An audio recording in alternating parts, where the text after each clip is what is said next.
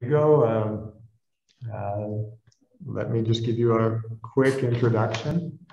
Uh, Rodrigo, I think I'm correct when I say this. You're originally from Minas Gerais, the state of Minas Gerais, or Belo Horizonte?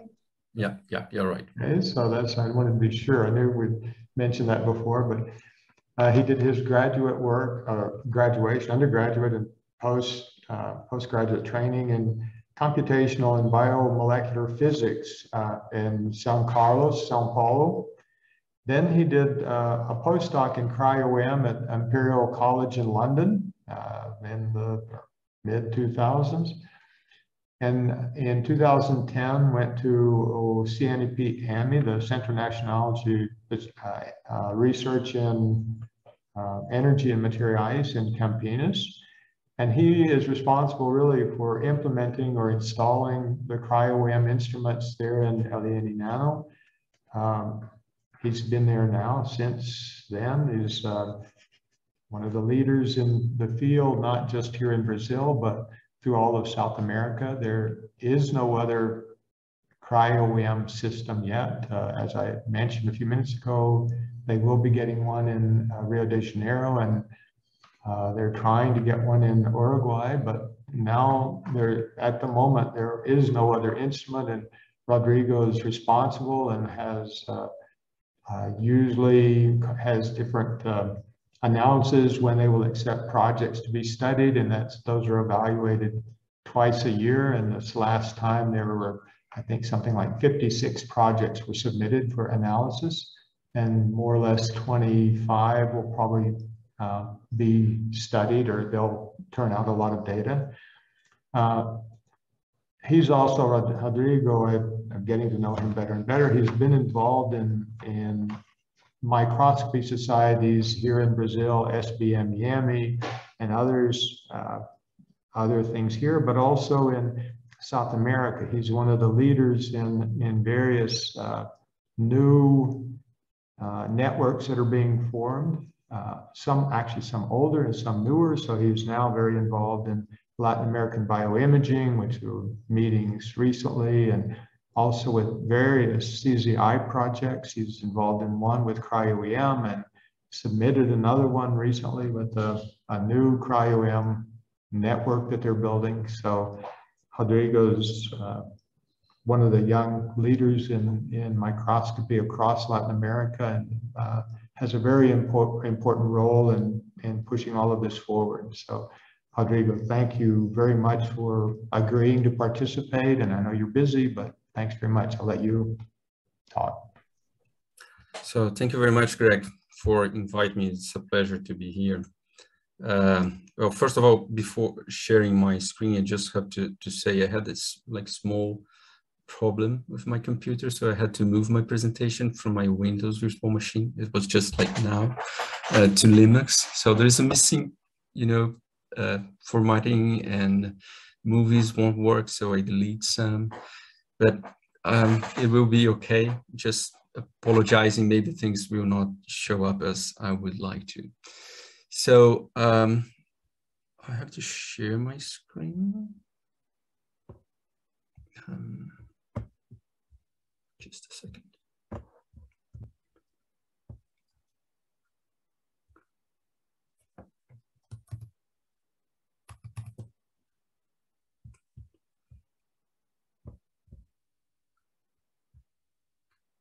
So do you see my screen?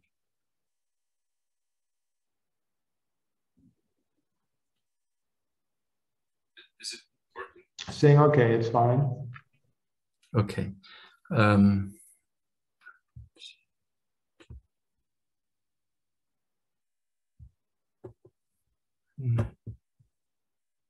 okay.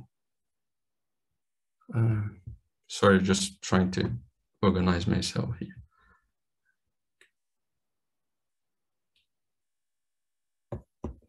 Okay, do you see my mouse as well here? Do you see my mouse? Yes, yes, I can see it. It's fine. Okay. So, and you don't see you, right? There's no no other screen to see. Okay.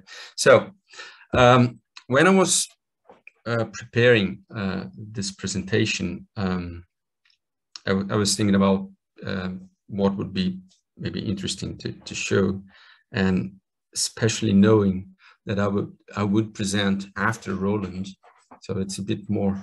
Uh, it adds some challenge to the to the, the presentation. So uh, I decided to just collect a few examples of what we've been doing here in the uh, the projects we are uh, collaborating with, uh, and also uh, show a bit of non-cryogenic electron microscopy. So um, when thinking about the infrastructure that most of uh, Latin American has access to, I think it's important to show a bit of projects that we have to to like try to move forward and, and, and to, to go to a different a higher level of operation with uh, high-end cryo-electron microscopy, high resolution, but also that depending on the project, depending on what we want to, to discuss or what is like the question that is being posed, we can do some um, nice studies also with like electron microscopy and, and uh, negative stain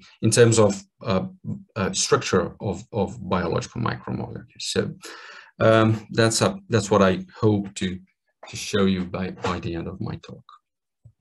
Um, so when we talk about cryo-EM, uh, cryo-EM is really like lots of different stuff. Like we can talk about, uh, like in this case, what we are seeing here, like liposomes in ice. So this is like soft materials. You can use um, cryo-EM to, to prepare um, materials. Uh, or you can go for structural biology, like what we've seen here, which is a loop, a nice loop in a structure in a collaboration we are uh, working with uh, uh, the, the Biorenewables National Laboratory here at CNPEM with uh, Mario Murakami. So uh, for the uh, for this talk, I will focus on structural biology and what we can do with a single particle. So when we talk about single particle, let me just do something. So when we talk about single particle, you probably heard about what is uh, what was called resolution revolution. So that was, uh, well, actually it was a paper by Werner Kühlbrandt, uh, but also there was this huge changing in the the level of the resolution that you could achieve using single particles cryo-EM and that was about uh, in was about like 2015 uh, 13 14 um, mainly because uh, because of the introductions of uh, direct um, electron uh, uh, detectors. So after the this this beginning of the resolution revolution things got like more and more fast and in terms of cryo-EM being more important in, in structural biology, especially high resolution structural biology. Uh, and then in 2017, we, we had the, the Wiley Prize in the beginning of the year uh, in biomedical science, and that was uh, given to Martin van Heel, Joachim Frank, and Richard Henderson. And in the same year, the Nobel Prize to Jacques Dubochet, Joachim Frank, and Richard Henderson. Um, so that was uh, like recognition of how mature uh, cryo-electron microscopy, but particularly a single particle cryo-EM was or, or, had achieved. Okay, so let's talk a bit about single particle cryo-EM. And uh, first of all, like when we think about 3D uh, uh, imaging on electron microscopy, these two major groups of techniques comes to mind. So we can talk about cryo-electron tomography or uh, single particle cryo-EM.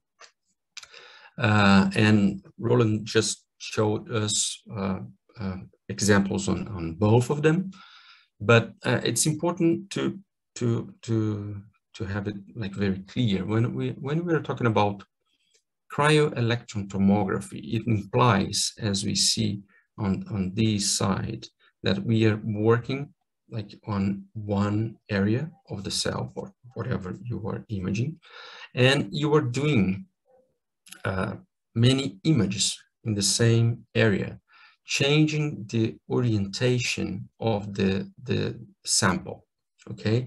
And do this, since you change the orientation, you have uh, different views in terms of orientation, and then you can reconstruct the 3D information based on these uh, different orientations of that specific area. And you could be seeing here like an organism, a cell, or even a macromolecule, a virus or a virus or whatever.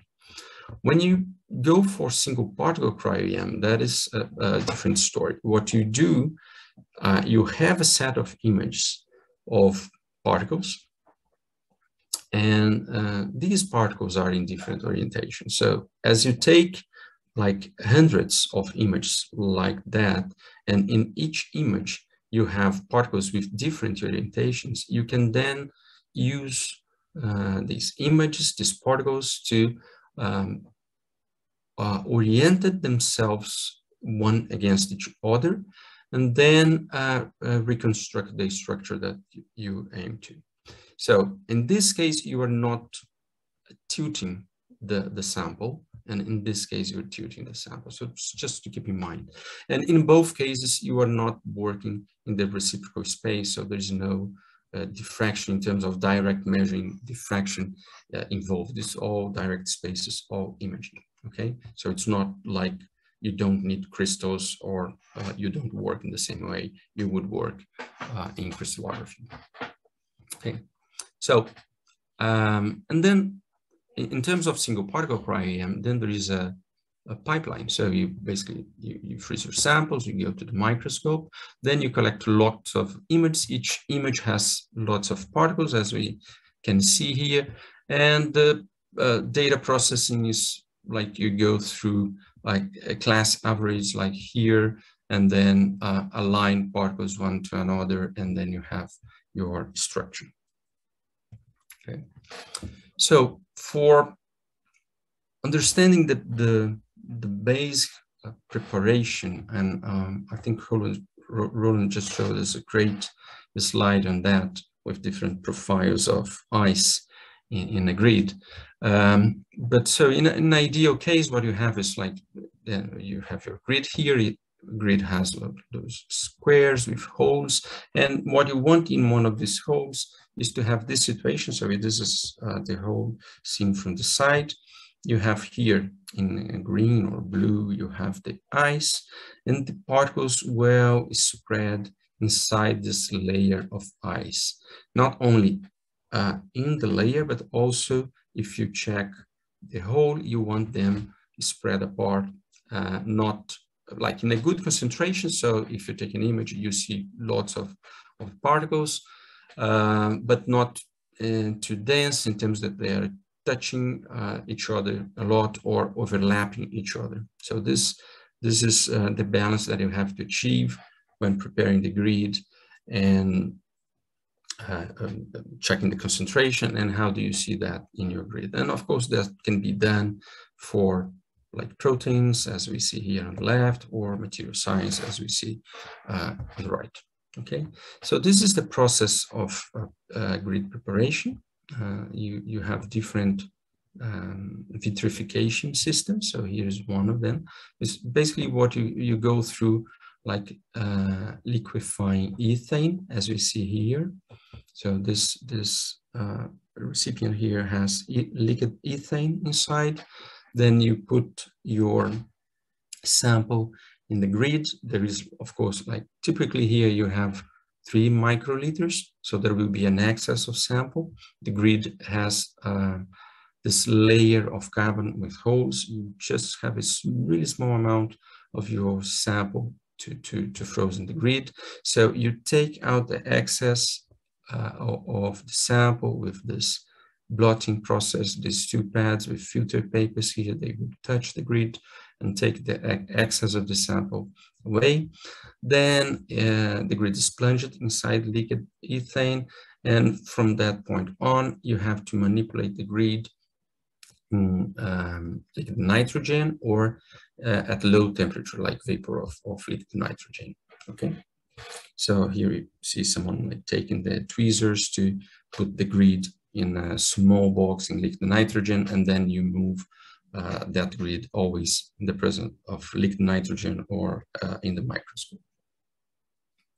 So in the microscope, you have different uh, strategies or, or, softwares to control the microscope, but typically you will have a, a automated system to do the data collection because what you need is to collect lot, lots of images.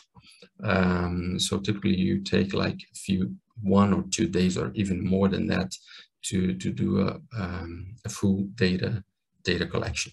Okay, so what we're seeing here is the, again, on the left, the grid, the holes in the grid, okay, with um, some sample.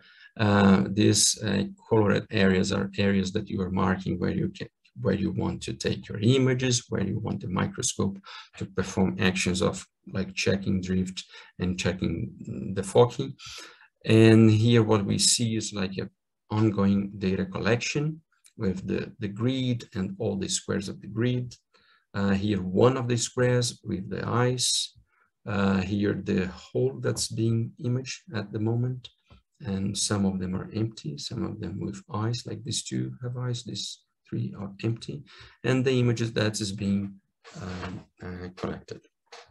Okay, so after doing this data collection, you have your as I mentioned before, your set of images, and then you can start processing to reach, um, you know, the structure or the resolution you want.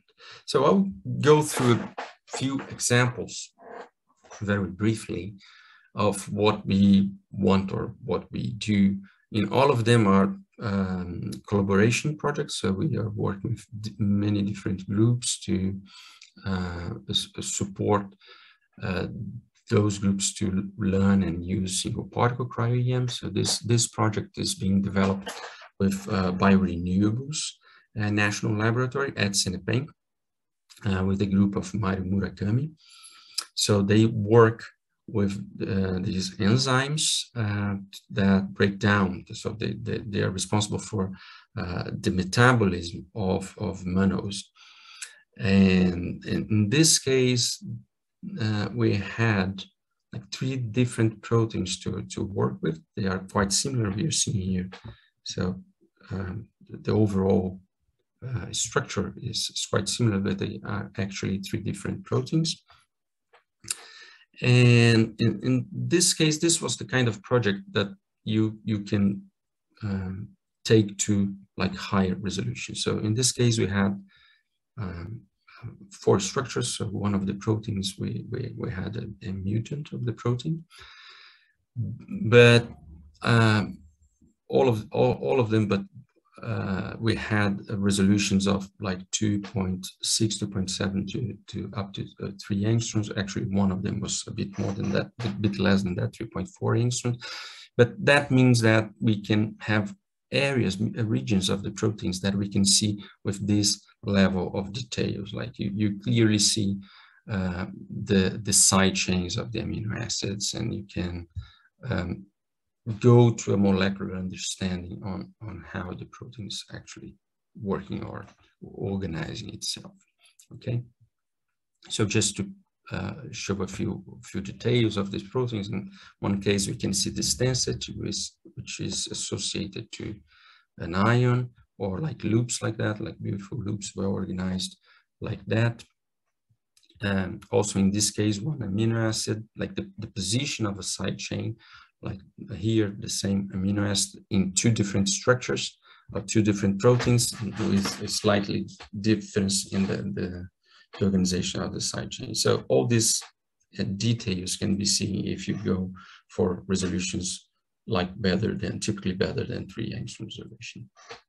Okay, and, and they are necessary in projects that you want to understand, like for in the case of uh, this project, uh, enzyme or um, um, active site of the enzyme and how uh, actually like the enzyme is working at a, at a molecular level. Okay.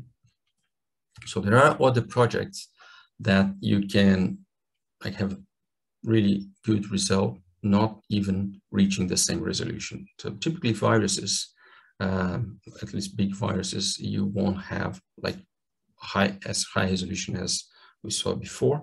Here's the structure of the Mayaro virus. That was a project conducted by the group of Rafael Elias in uh, uh, National Laboratory of Biosciences at CNPq. And so uh, his group was interested in um, elucidate the, the structure of the Mayaro virus, and that was a, a collaboration between uh, LNNano and, and, his group. And in this case, uh, we could uh, reach uh, the resolution of 4.4 angstrom, and that was like uh, enough to, to actually see lo lots of different stru uh, structures present in the virus. For instance, all the, uh, if you see here on this 3D view, but also like in this cut views, you can see all the transmembrane uh, proteins, you can see uh, all the proteins that form the capsid. So it was um, enough to understand what what they were interested at that moment. Of course, since we are imposing um, symmetry in this case, you don't have information of the, the, the, the, genetic material that you have inside the virus. Okay, so, but that's because of the processing that is being done. Another project that I would like to mention is, is this uh, project on septins, uh, which is uh, a project conducted by uh, the group of, of Richard Garratt and Ana Paula Araújo, and here uh, Richard, Ana Paula, and Deborah. Deborah is a PhD student that's really working hard on, on this project. And here the, the, the aim was to understand, to elucidate this structure of an hexamer of septins. Actually, um, of septin, there was a previous structure on X-ray uh, crystallography based on X-ray crystallography of a fiber of septins. So actually the, the isolated hexamer as a single particle was the, the, the first time that the structure was seen. And here I was supposed to have a movie here, but just to discuss that, they are flexible. So there, there is a, some flexibility in terms of um, say there's some bending in this this area of the protein. So if you if you do single particle, one of the things that we we can have is that since since you are collecting many copies of the protein, if if in your data set you have uh, variability in, your data set, in, your uh, caused, for instance, by some flexibility in the proteins, you can, during your data processing, um, isolate different uh, conformations and actually see how um, how are the different conformations that the protein can assume and also try to infer some flexibility. So in this project, one of the things, um, uh, not, not only the the structure of the, the hexamer was uh, better uh, studied by single particle cryo-EM instead of X-ray crystallography, but also Deborah could um, identify that there is some flexibility associated to the, the protein. And, and how was this flexibility? Sorry, I don't, I don't um, and then moving on. So those are cases of the cryo-EM where you aim at like either um, high resolution or like big uh, structures like viruses or trying to see some flexibility.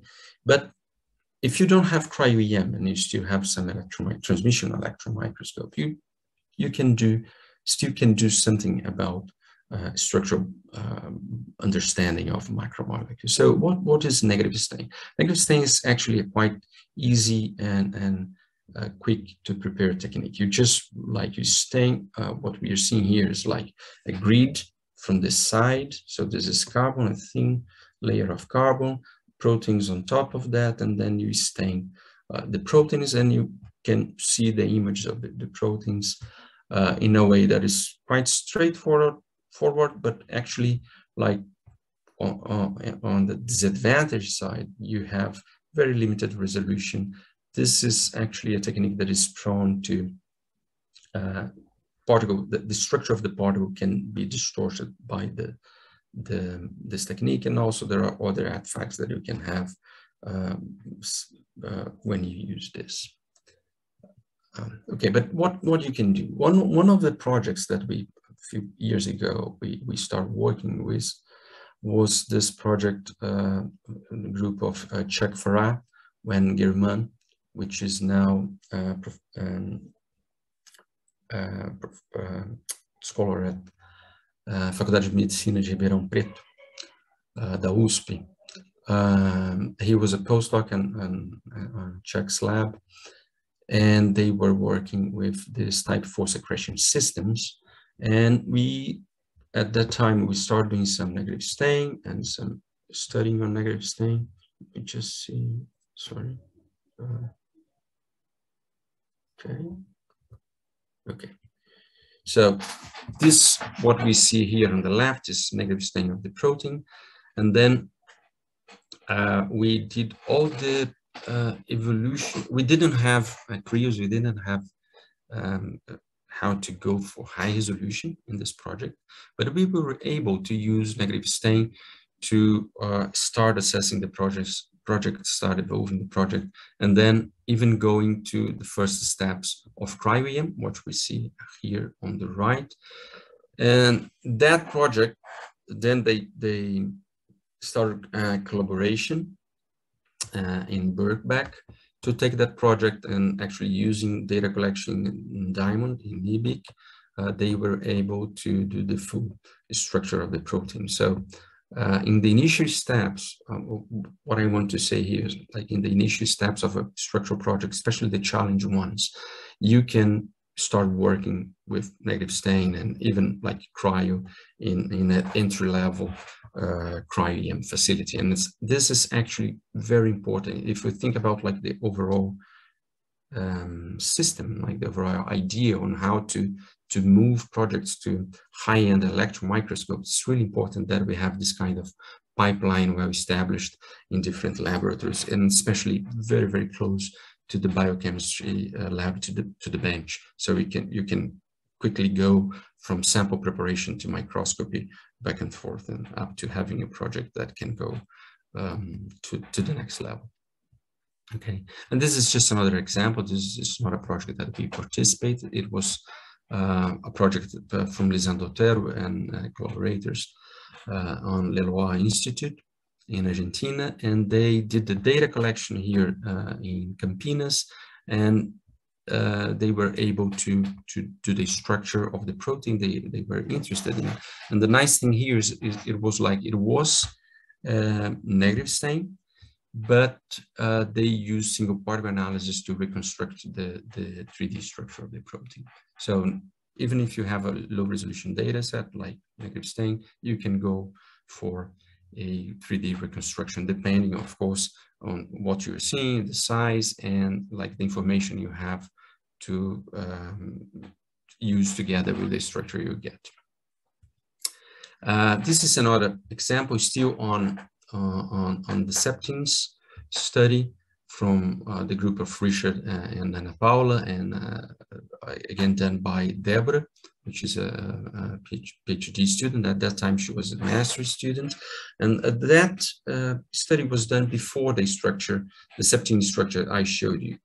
And at that moment, so what we are seeing here on the left is negative stain uh, preparation of septin. So what we're seeing here is one hexamer, the same hexamer that I showed you the structure. Uh, here on the detail, we can see the hexamer. So if you take lots of them and you average them, like align them and average, you get an image like that. So this is uh, an hexamer of septins, and actually you have here septins of types five, six, and seven. Um, so you have two fives, two six, and two seven septins here. And the question here was the following. Um, there was this uh, inform, uh, uh, knowledge that the order of the hexamer would be, uh, in this case of septin 567, would be like 765, 567. Uh, but since the structure was um, obtained by a filament okay? So it could be this one or this one, five, five, six, seven, seven, six, five. Uh, so in a filament, you cannot really know like the, the, the edges of the hexamers because it will repeat um, again. So five, six, seven, seven, uh, six, five, five, six, seven, and so on. So the, the idea here was to try to understand, to identify uh, the order, if the order was correct. And actually, uh, what they did was to do this construction of MBP 567 and then we did data collection of lots of, of um, many, many grids actually with this kind of negative stain information here. And with uh, statistical analysis, we were able to, what we are seeing here on the left are like average after classification of hexamers, okay, with MBPs attached to the protein 5 and in different positions. So what we see is that the MBP, which is this extra dot that appears on the, the this class average, are always appearing on the edge of the filament, so on the edge of the hexamer. So it indicates that the protein, so the, the five, the protein five, the, the septin fives actually at the edge, not in the center as was assumed uh, before. So, and this is like all done using negative stain and uh, single uh, part of the processing that we do is single particle analysis, which is like the, the classifications and the average. So um, this was a, a, strategy, a strategy that we developed to, to, to, better understand that. And we were able to, to show the, the correct order of the hexamer. And after that, then we moved to the, the, the cryo project uh, and we had the structure of this, this hexamer. And of course, then having the structure at 3.3 uh, angstrom resolution, you clearly see uh, which septins are in each position. Okay, so this is a good example of projects in negative stain. Uh, one uh, last thing that I would uh, like to mention when talking about uh, single particle analysis is that now there are a few labs and few projects starting to work with time resolved cryo-EM, which is basically, again, I, I, apologize, I don't have a movie that I would like to show you, but I'll try to explain. Like it's basically, you can spray a mixture of um, two reagents uh, in a grid, for instance, for instance, a protein, so two proteins or a protein and the ligand, uh, in a way that you spray it very quickly, so the reaction occurs and you froze the reaction before it reaches, uh, reaches uh, it ends. Uh, so you will trap in the ice, you trap in the grid um, intermediate states of that reaction. Okay, um, the the idea is to work um, in terms of let's say uh, hundreds of milliseconds or even like a bit below um, um, tens of, of, of, milliseconds. Okay. Uh, here, what we are seeing is an example of um, a ribosome um, um, so the, the, the, cycle of uh, ribosome recycling and uh, what we're seeing here in this graph so the, this is this is what is a paper from uh, Joachim Frank's group these two papers and what they're showing here is that they were able to trap at this like point in time uh, grids with different uh, conformations of ribosome in this recycling cycle.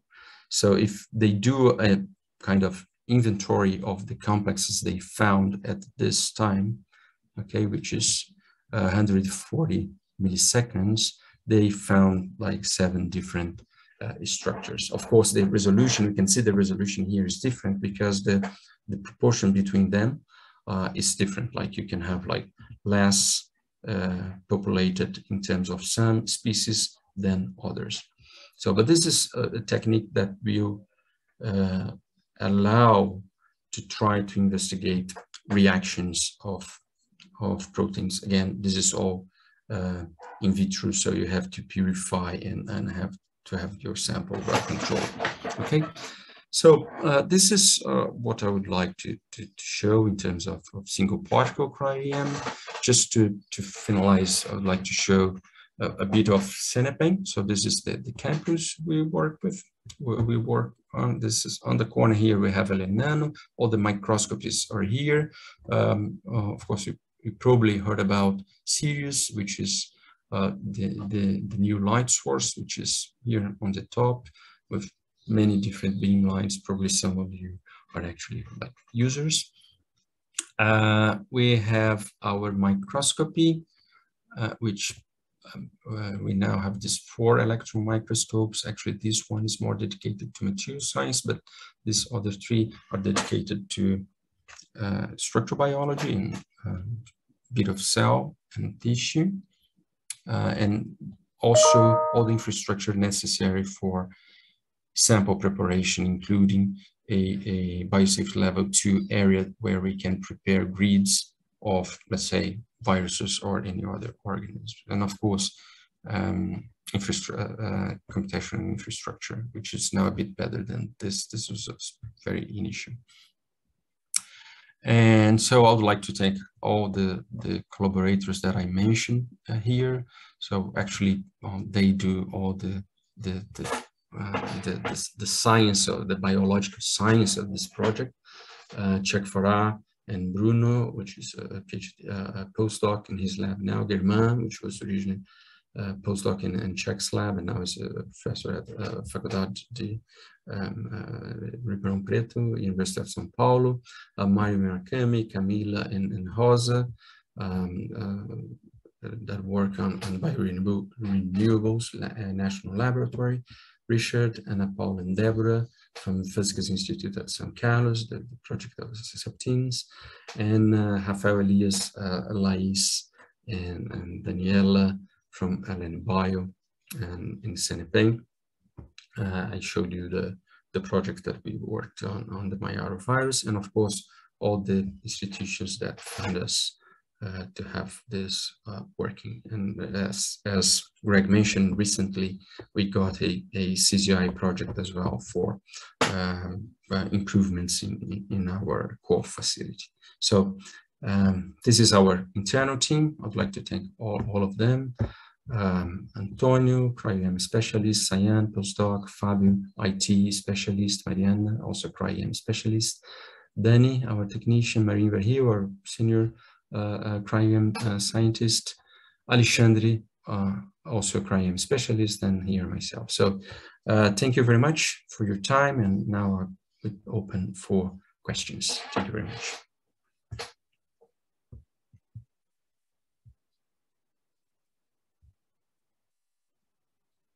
Greg, I think your microphone's off. Thank you very much. Well, Rodrigo, it was very good. Thanks very much. Um, I always, do you have a question? Uh, uh, Douglas Makita has a question. Douglas. Hi, uh, thank you, Rodrigo, for this great presentation. It was very good for, to see a general view, overview about everything that's happening in, in your labs. And could you tell us a little bit about the computation, computational structure needed to get these results and something like an processing capacity and storage uh, space required? Okay. Please. uh, okay, so typically uh, data collection can can have a few terabytes. It depends if you process, if you compress your data or not, and how how large you, need it, but I, I would say um, typically you will have a few terabytes of data set uh, to start with. Then you have to process that and it, it, really depends on the programs you are using. So if you think about, um, I would say um, maybe 10 terabytes or it can be a bit more or less per project. Um, five to 10 terabytes per project, depending on the size of the data collection and how you process your data. Uh, I would say it's it's it's reasonable. As for uh, processing, you can you can have from a GPUs to multi-core systems. Um, it, it again, it depends on the methods and softwares you want to use. Some of them um, exploit uh, GPUs. Um, sometimes if you have like different softwares to use, you can use GPUs in different steps of the process. Or you can have some that are typically just for uh, multi-core uh, systems. So if if you have a computer with like two two GPUs or or a server with two to four GPUs, you probably are um, well if you have a software that uses GPUs. Other than that, if you are talking about CPUs, I would say you have to have like tens to hundreds of CPUs to to do things in a reasonable time. But all, all of that really depends on how big is the data set, what kind of strategies you're using, and yeah. So you, you can use a, a like a, a, notebook if you want. It's just like how, how much time it would take and you know where you would put your data set. Okay. Okay. Thank you. Does, does it answer your question? Yeah. yeah. Uh, of course, it's not the uh, if you have a, a, facility, then it scales up. Like now we're installing almost two petabytes of storage just because we don't have space anymore to, to put the data. So. Yeah. Um, I think I, I, actually, Rodrigo, I think this is a good time that maybe you can say something about the cryo-EM, the Brazil cryo-EM school. Would you like to? Okay. Um, actually, yeah, I, I, I was supposed to have a, another slide here just to mention that we uh, we will have a, a workshop, a cryo-EM workshop. And thanks thanks for for mentioning that, Greg. In end of November, beginning of December, so that's from 29th of December to first, sorry, of November to 1st of December. It's a Tuesday to Thursday in between two games of Brazil in the World Cup. So Brazil will play on Monday, Friday. Don't be concerned about that. You can come to the workshop. Uh, and uh, applications are open. So if you go to the website of LNNano uh, and CNPEM, you find the applications open. And we would like to welcome any, anyone that wants to to really have this hands-on experience. It will be a workshop for 20, 20 people. We really want to have these three days of hands-on experience, very intense on data collection, sample preparation, data processing. And so, yeah, thank you. Thank you very much for pointing out, Greg. Now, there's another, I, I'm blanked on the exact name, but there's also the other school that you. Oh, yeah, that is the, the Brazil school, which is the data processing is like two weeks. And that we are planning for next year, maybe. Uh, it's, it's still not sure what, what are the dates. But there is an, another one that will be open probably by beginning of next year, this the applications, which is a um, a, a São Paulo Advanced Science School, which is uh, supported by FAPESP and it's being organized by Chuck. Uh, it will be in the Chemistry Institute in São Paulo. Mm -hmm. And that will be also like two weeks of um, all the processing and um, uh, science be behind single particle cryo-EM. So that will be in São Paulo and it's being organized by Chemistry Institute of University of São Paulo. Yeah, these are uh, only or asking these things because I think it's good also for for people to know, especially the younger students or people that are still thinking about a career, because the area of cryo-EM and this electron microscopy in general, but especially cryo-EM, single particle, uh, if you have, if you walked into the United States right now, you could have a job tomorrow. So I mean, it's one of the, it's extremely competitive and the, the salaries are extremely high at the moment. So I don't know how it will be in 10 years, but lot of uh, pharmaceutical companies and universities, everybody needs people that have the experience. So it's, uh, uh, if somebody's not in this or not decided about exactly what way you're interested in microscopy, it's something to, to consider uh, for going forward. So, yeah.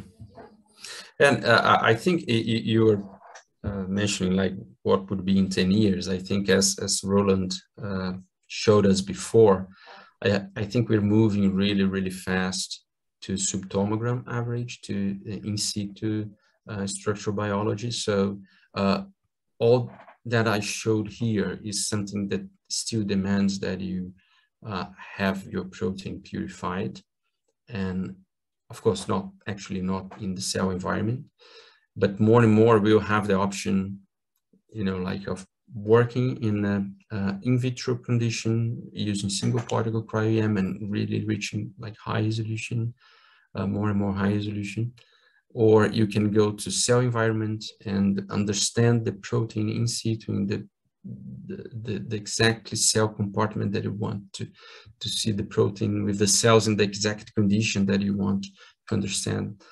Uh, so it's really a, a, lots of different and open uh, um, uh, uh, landscapes that we see in electron micro microscopy uh, applied to, to structural biology. No, I and I just have to thank thank Mikita because he put the, the link to the workshop here in our in our chat. Thank you, Mikita. You are welcome. Um, okay, any other questions? I think there's not. Uh, uh, again, Rodrigo, muito, uh, thank you very much. obrigado. De nada, you're Confusion here sometimes, but so thanks very much. Uh, always enjoy it. Uh, hope to see you again soon here in Belo Horizonte or in, in Campinas. Uh, everyone, we will start tomorrow morning at 10 o'clock. And so we will continue with uh, the next sessions. Uh, the next sessions will be with uh, Lucy Collinson from Francis Crick and Kildare Miranda from. Uh, so we uh, talk about correlative light and electron mic microscopy and various other types of multimodal imaging. So thank every, thanks everyone for attending today and uh, hope to see everyone tomorrow. Rodrigo, again, thank you very much. Thank you very much, Greg. Thank, thank you all and see you. Bye-bye. Thank you. Bye-bye. Okay.